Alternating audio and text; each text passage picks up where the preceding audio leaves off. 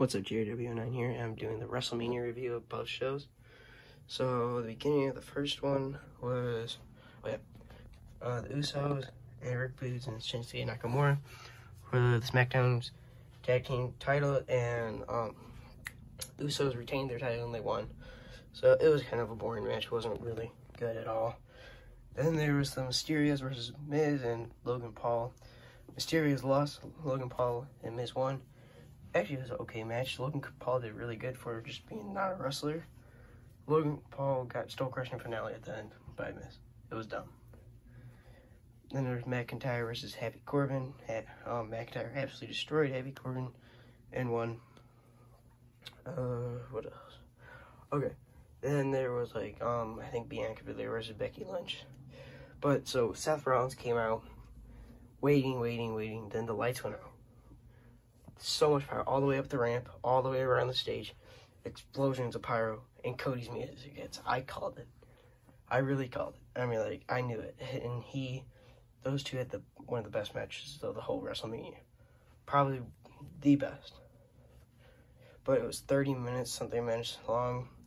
Really good match. Cody ended up winning with the three Cross Rhodes after he did Dusty Rhodes finishing move.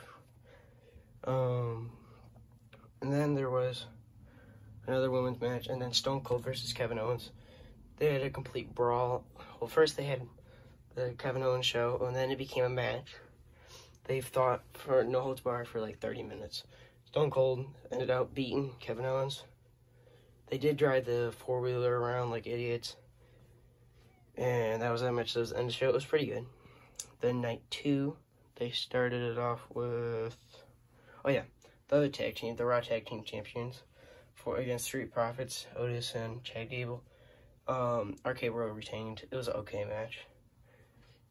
Then there was o Omos versus um, Bobby Lashley. It was actually a really good match. Those two when Bobby Lashley got launched by Omos a couple times. Bobby Lashley ended up winning. Then there was, I think, a women's match. Sami Zayn versus Johnny Knoxville. Kind of a dumb. It was really dumb. Honestly, it was just like a joke to destroy Sami Zayn, so it was dumb. Um, then there was Edge and AJ Styles.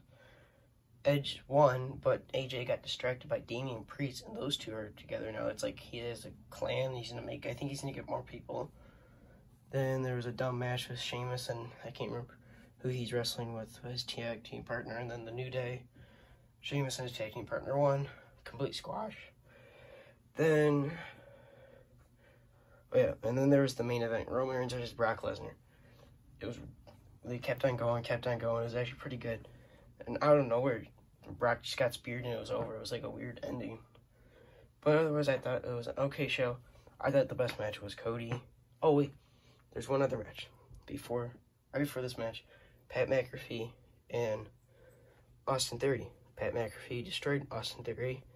Then Vince, because Vince McMahon was out there with Austin Theory, takes his tuxedo off, takes off his main button-down shirt, and has a tank top on. Insanely ripped for his age in the because he's in the seventies. Fights Pat McAfee because he says to Pat McAfee, "If you hit me, you're fired." So Vince just squashes him. Stone Cold music hit. He comes out,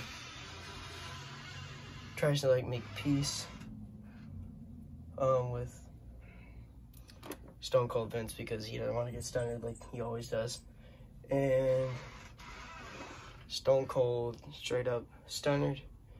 They had a beer, and then Stone Cold stunner Vince and beat him up, and that was it. Then there was Roman's match.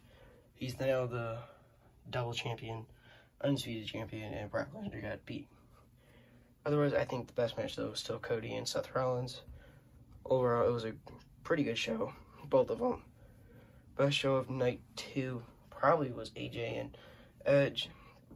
Night one, Cody and Seth. Overall, Seth and Cody. Great show. I think it was a better WrestleMania than last year. But this is JW9 here. And if you like think wrestling or AEW, WWE, make sure to like and subscribe. See you in the next one.